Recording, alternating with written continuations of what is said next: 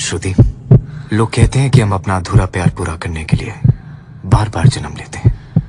माना इस बार तो हम अलग हो गए, पर हम फिर ज़रूर मिलेंगे। मिलेगी ना?